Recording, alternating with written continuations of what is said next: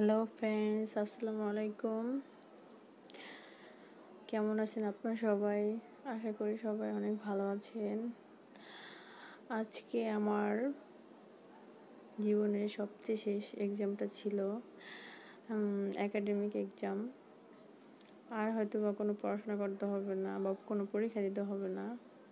সেই পরীক্ষার জন্য আমি গিয়েছিলাম গোবিন্দপুর কলেজ সদরঘাট পরীক্ষা দেওয়া শেষ হওয়ার পরে আমি আমার ছোট বোন আর ওর বান্ধবীকে নিয়ে একটা রেস্টুরেন্টে গিয়েছিলাম।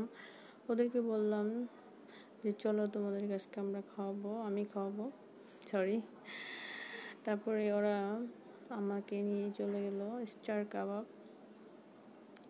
এই রেস্টুরেন্টটাতে তারপরে এই তো আমি এই রেস্টুরেন্টে চলে গেলাম। আমার ছোট বোন ও জগন্নাথ ইউনিভার্সিটিতে পড়ে সদরঘাটি ওখানে থাকে।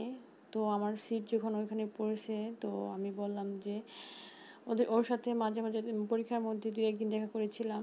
তো আজকে তো শেষ দেখা, তাই বলছি যে, চলো তোমাদেরকে খাওয়াবো। এই তো অর্ডার করছে। মোরগ পোলাও আর বোরহানি। অনেক ক্ষুধা লেগেছিল।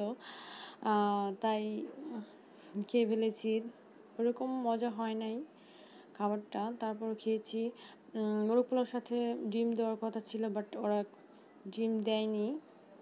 কাবাব দিয়েছে।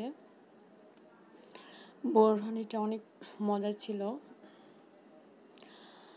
তারপরে কি করব? খেতে তো হবেই অর্ডার করেছি, দিয়েছি। তারপর ওখান থেকে চলে গেলাম। গ্রেট ওয়াল শপিং মলে আমি আমার আমার বোন ওখানে চলে গেছি আর ওর ফ্রেন্ড সাদিকা, ও আমাদের সাথে আর আসেনি, ও চলে গেছে ওর একটা কাজে। তারপরে আমরা এখান থেকে আমি একটা ব্যাগ কেনার জন্য মানে কয়েকটা দোকানে ঘুরেছিলাম, কিছু কিছু ব্যাগ দেখেছিলাম বাট ব্যাগগুলো পছন্দ হয়নি, কেমন যেন হার্ড ব্যাগগুলা টু ইন ওয়ান ব্যাগগুলো দেখেছিলাম। তিন চারটা দোকানে দেখেছি বাট আমার ওরকম পছন্দ হয়নি।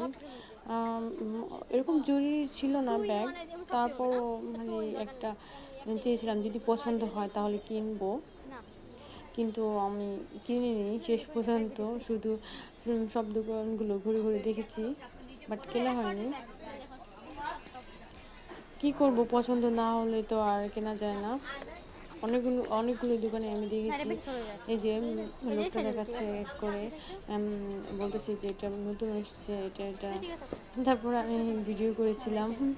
লোকটা কিছু বলে নাই ভিডিও করার সময় অবশ্য। তারপর আমি সবগুলো ব্যাগ দেখেছি বাট আমার ওইরকম পছন্দ হয়নি।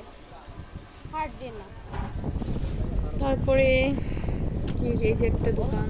তারপরে আমি আমরা আমি আর আমার বোন আরও কয়েকটা দোকানে গিয়েছি আর কয়েকটি মানে দোকানে গিয়ে দেখেছি।